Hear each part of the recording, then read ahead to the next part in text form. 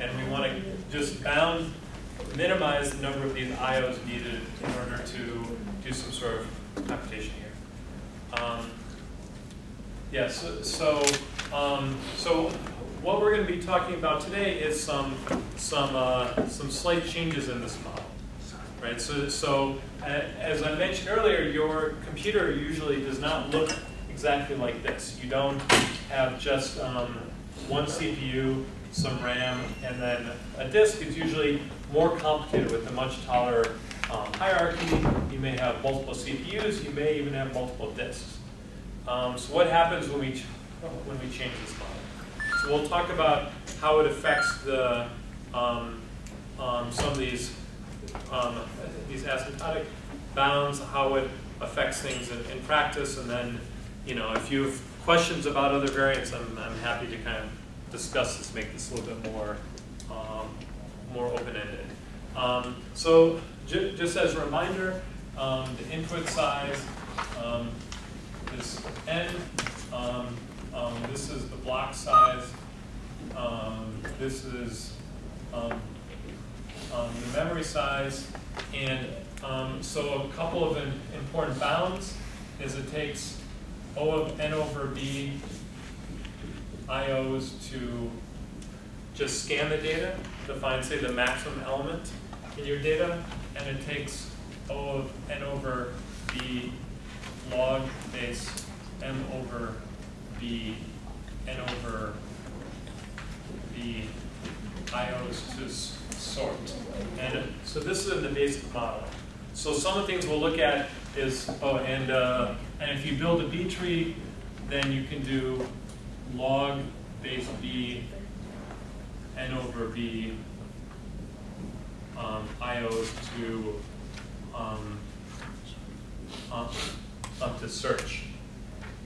Um, so, uh, so, so, so, so we'll look at some other variants of this model and see how these, these bounds change.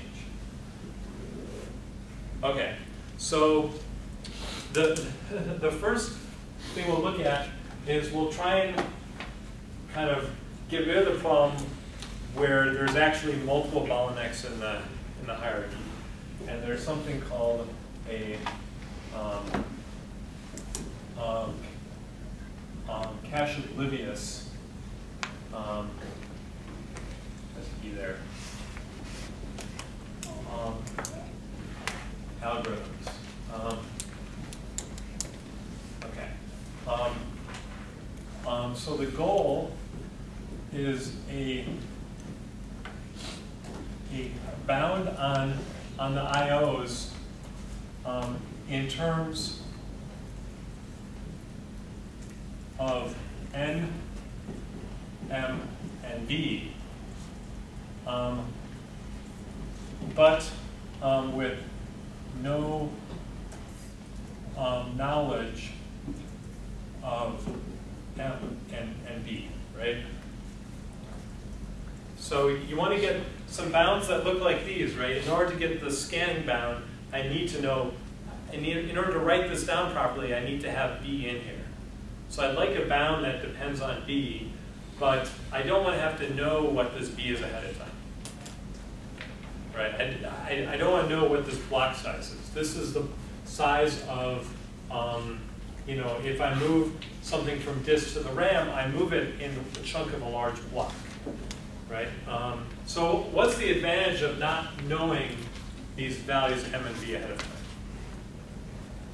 It can, uh, the algorithm that you develop can fit into uh, multiple architectures. Mm.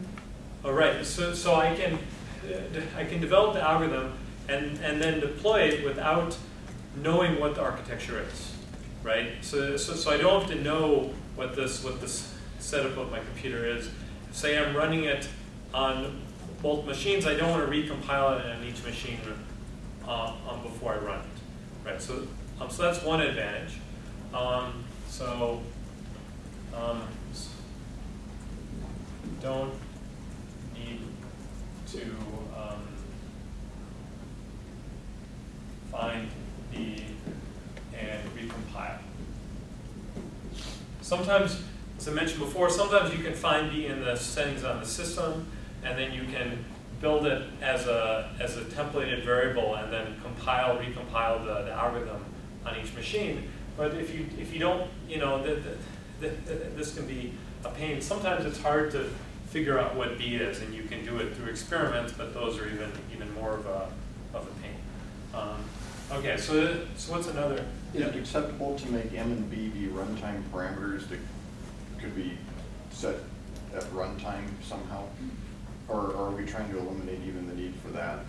Um, so we're trying to even eliminate the need for that, Okay. right? Uh, yeah. Uh, From which I infer that there aren't typically operating system parameters we can call to get values for those things and then, Yeah, in, um, in most cases there are. Um, so, yeah, let's not worry about runtime parameters. You could implement it that way, but it's, um, it's, it's, it's, it'd be more efficient if you could let the compiler uh, know that ahead of time. Yeah. Isn't the main advantage that once you have this memory memory architecture, which means that you have larger larger space, um, so slower slower space, but get faster and faster access to data, it means that algorithms will run relatively in the same um, the same fashion. So basically, you can you can you can run it on a small computer, you can run it on like a cluster of computers, or whether since you keep this memory architecture, the model of memory architecture Yeah. the same, the algorithms will perform pretty good.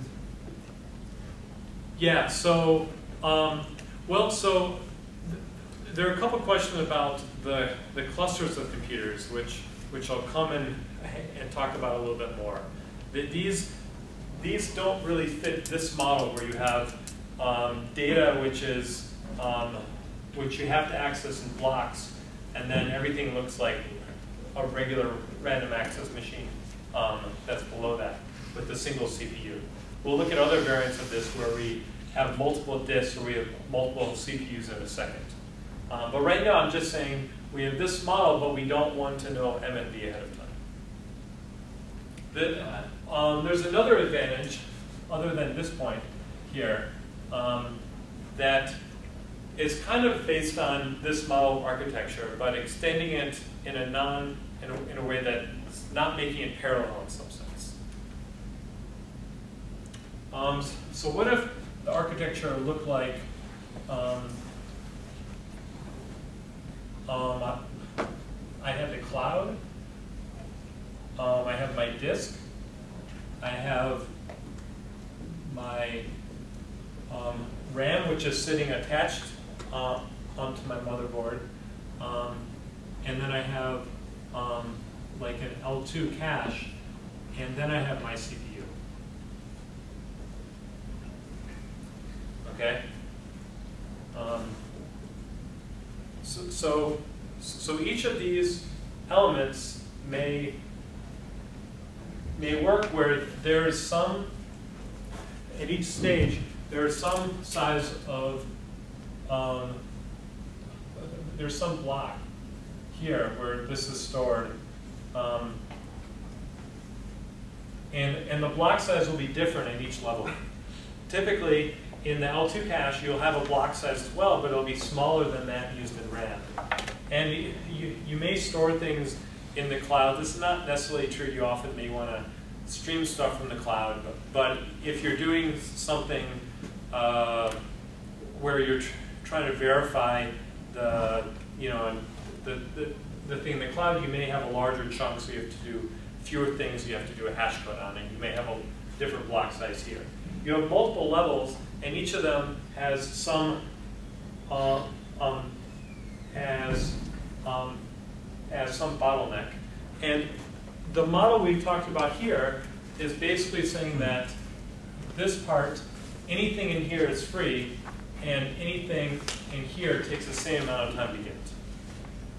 But really, if something doesn't fit on the disk, it may be in, in the cloud or, or something like that. Or it, when we talk um, later about things like MapReduce, you'll, you'll see that when things are transferred between computers, often you, you, you, you shut the whole um, system down, you have a round of computation, and you move a whole bunch of stuff at one, um, at once, much larger than, than one block size. So when you have this whole hierarchy, there may be multiple different block sizes and multiple different sizes of the memory with respect to that block size you want to optimize all at once. You want your algorithm to run fast at every stage of this hierarchy. And so if you don't, if you have an algorithm which is, which is fast in terms of m and b for every value of m and b, um, then it'll work for every level of the hierarchy um, simultaneously. So usually the, high, the highest level is the one that is, um, is causing the largest bottleneck. But it could be that you know, most of your data is on disk, but some of it is, is on the cloud. And so the bottlenecks are kind of about equal to each other because most of the IOs happen between disk and RAM, but there are a few even more expensive ones between the cloud. So you kind of want to make sure you're not thrashing at, uh, um, at either of these levels. Yeah, no thrashing on cloud nine. Yeah, yeah. Along, cloud nine, I guess that's, that's the, oh, that's the point, right? It's perfect. Um, all right, so, um, so, so there are these ways of trying to design algorithms that manage to have good bounds, but without knowing M and B ahead of time. Okay, but, um, okay, but these typically don't work quite as well in practice as if you can pre-specify the values of M and B and then hard code them into your into your code. You can often get those to be working, you know, significantly better. And in some case, the the the, the asymptotic bounds are not as, as good. There are things we can't do. Um, in order for these items to work, you need some um, some modeling assumptions.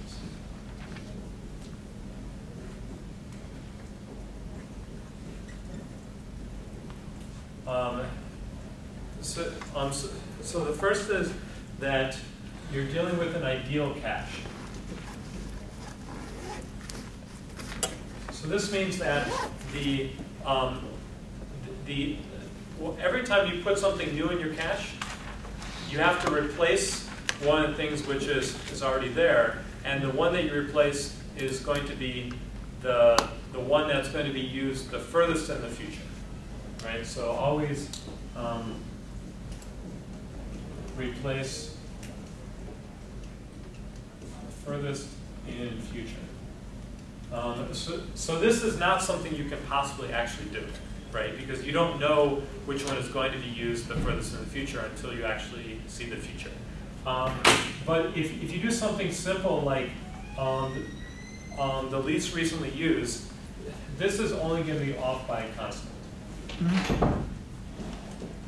Right, so if you're, um, so doing, using the least recently used is going to work just as well. So this, this assumption is probably, is, is probably fine. Um, in practice, we use approximation of lists. Well, uh, yeah, so it'll, it'll affect the bounds a little bit in, in, in theory, but they're theoretical bounds. So and people don't always use least recently used. Sometimes they try and use more advanced things, which may do better than this, but it's really hard to beat um, least recently used unless your your OS or compiler somehow knows something specific about the sort of workloads that you have. Um, what did LRU stand for? Least recently used. Okay. The one, the thing admitted from the cache is the one that was least recently accessed by the CPU or a lower level of cache. So it's a pretty standard caching technique. Um,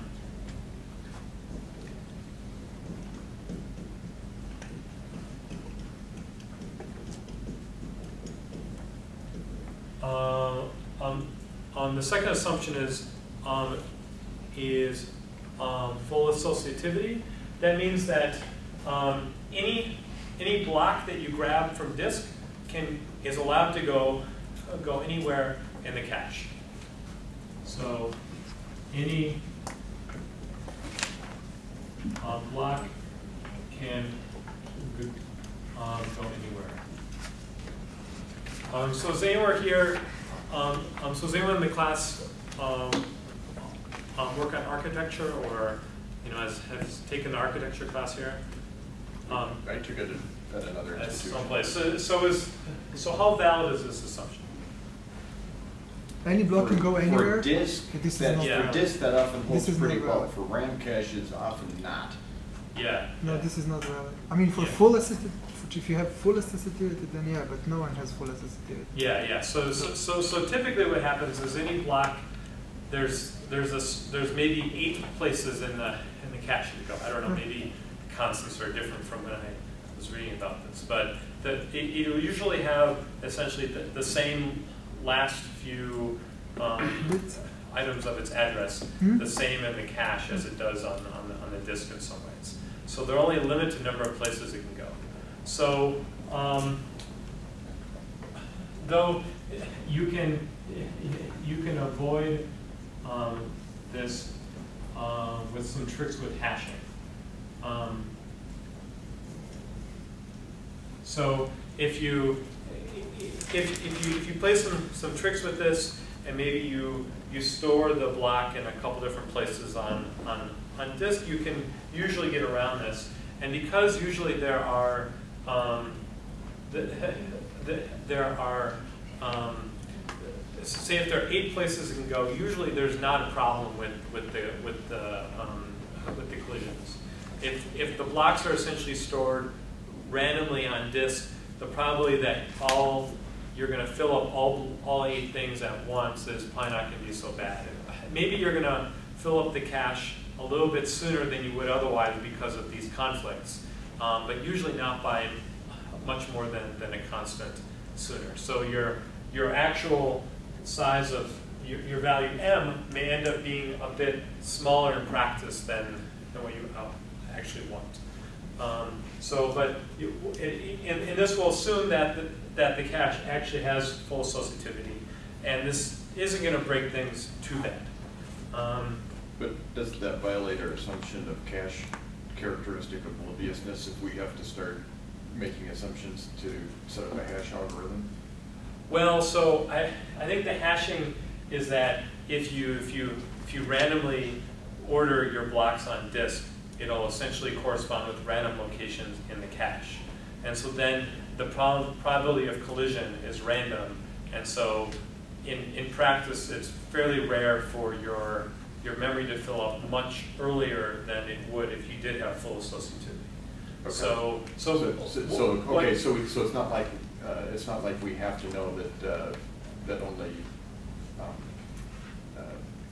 that there's only one of four places for the block to go as opposed to only one of sixteen? We- Yeah. the- Okay. So the way to think of these is effectively, if your blocks, if, if, if, if, if the value of m over b, if, um, right here, if m over b is equal to say, something like, um, ten thousand, then maybe in practice, it's gonna look more like, um, um, two thousand instead right? Each of these is going to lose some, some constant factor.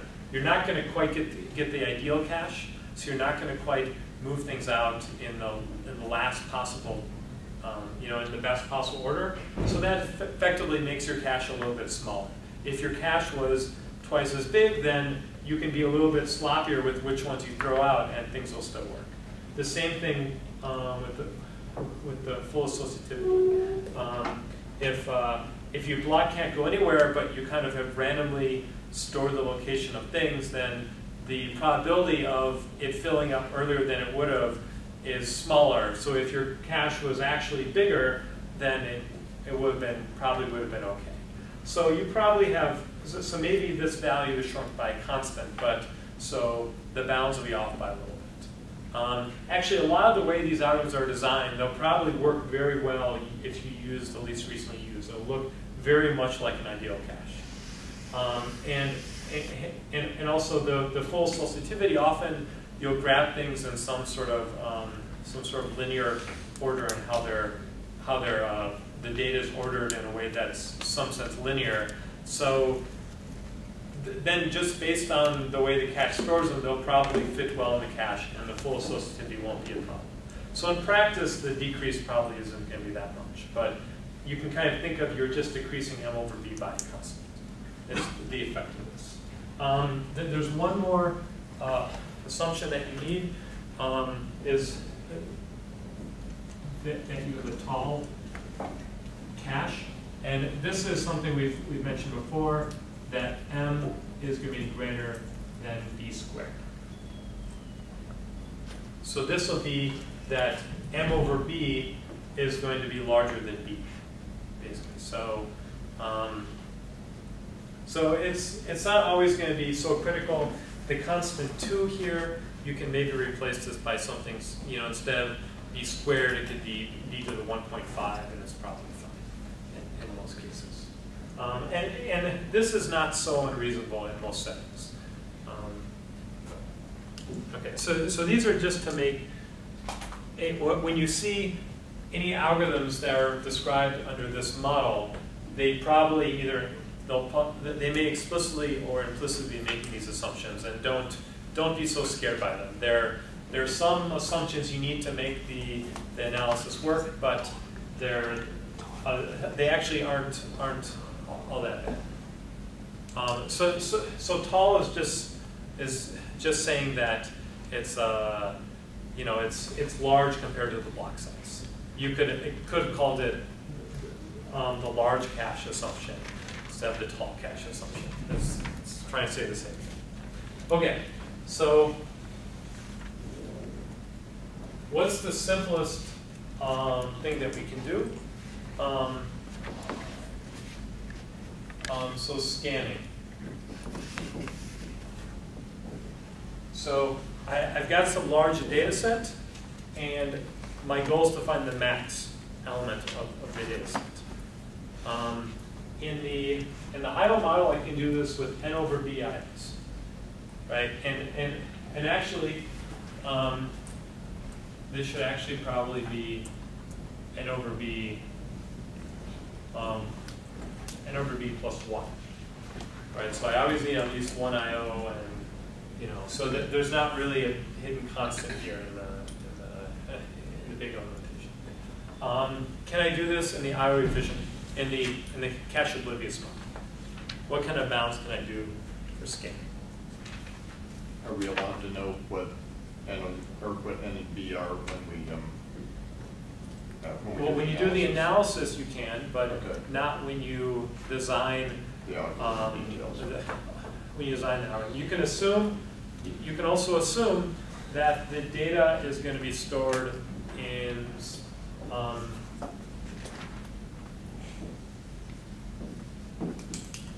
um, that the data is stored in a, um, um, in a contiguous, um, you know, part of, of the disk. Right, so, so I'm not gonna spread every single element of the data across different, different parts of the disk. All right, so if I don't know M and B, how well does, does scanning work?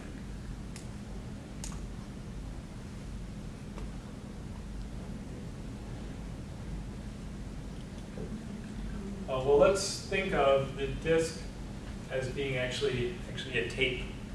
Okay, so it's, you can think of it effectively as a, as a tape. So, Uh, like, if we're gonna design, if we're, we're talking about the bounds now, right? Yeah, So we still can use M and B. yeah, we, we need to use M and B in Exactly. bounds, Yeah, right? so Yeah, but, but I- not in we've how we design. We can did do much better than that. Yeah, so, so, so think of, But I mean, like when the last, when, when we we're gonna, the the cache is gonna be full, the least recently used will count the new one. So and we won't use it anymore because we're just scanning. We just need to remember the Right. largest element, which is one element in the whole cache. So and this one is always gonna stay in because it's gonna be used any all the time. So basically, we'll we just maybe off by a little constant, but not much.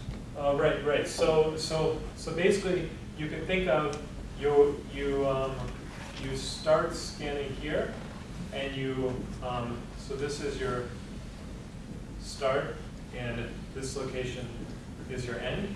And you have no control about how the, how the blocks are, are laid out here. So it could be that the first element is here, and then you start this, this new block. Um, so it could be you have one element here and one element here. So th- the worst case number of IOs is, is basically, basically going to be n N over over b plus one um, ceiling. Hmm? So it can be off by, it's gonna be off by basically possibly one more IO. Whereas if you knew the block structure, you would never start a file like at the last thing of a block, right? But this is the only difference. Otherwise, you know, the, you're gonna have the same, basically the same number of IOs as if you didn't know the block structure, right? So you can think of it as the data is on a tape, but every time you jump to essentially a random spot on the tape, that counts as, as an extra IO right? But if you're just scanning continuously, you're going to view, you're going to grab just as many blocks are as needed, independent of what the block size is, right? So the larger the block size, the fewer IOs you're.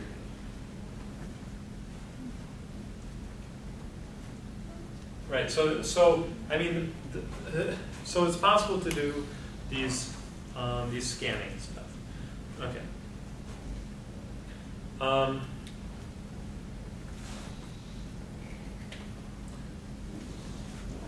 Um, so in general, so the, the, the scanning is easy, right?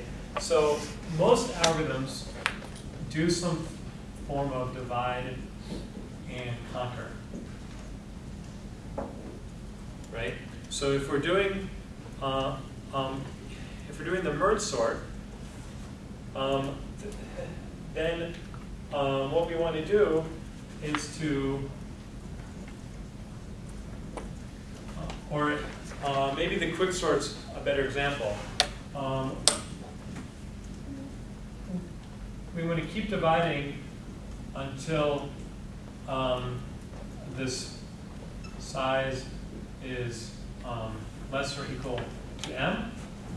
Um, then we can um, solve in memory.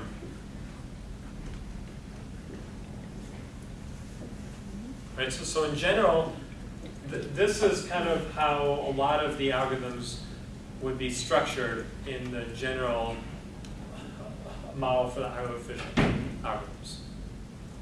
Okay, so we're going to keep dividing until the size is less than or equal to m, and we, then we can fit everything in memory, and it doesn't matter how we solve it.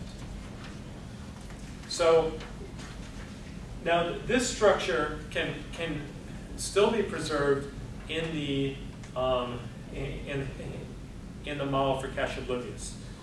Instead of you know stopping when we get a size m and just solving it by brute force, well we can keep running divide and conquer, um, and we just don't know when we've crossed the size of the threshold of the cache. Th- This sounds like we're making an assumption that m is greater than some constant, so we just divide and conquer until we've reached the, uh, the constant.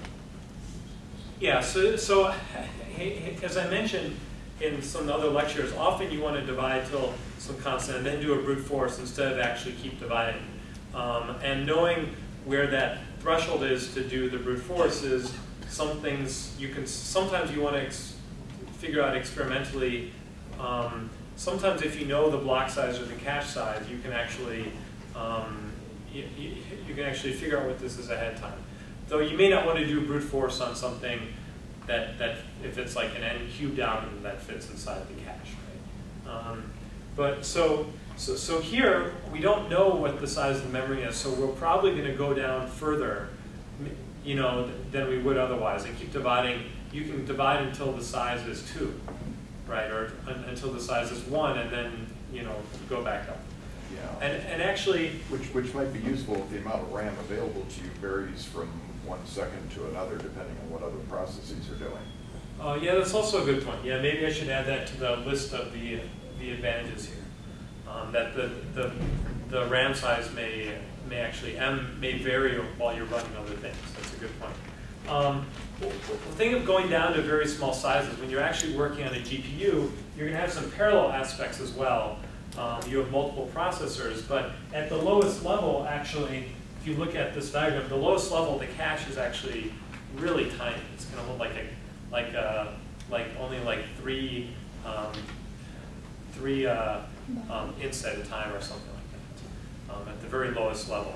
Um, you're basically just going to have the registers and a very simple CPU. So now, if you have a CPU in your computer, those things have lots of registers and a lot of memory associated built right onto the CPU, even in, in, even at different stages of the pipeline and everything. But on the GPU, they're they're really simple. So you may want to go all the way down to um, very small things. Um, okay, but what's wh- what was the other thing that we were able to do in in the highly efficient model here in this divided conquer step that allowed us to improve the bounds? That I have left off these two bullet points. They're yeah. Uh, divide in multiple, not just in two. Uh, That's right, that's right. We're able to get these log-based M over B bounds with the higher um, base of the log. And this, this base is usually pretty big and it makes a pretty big difference. It makes usually in the log term something like three.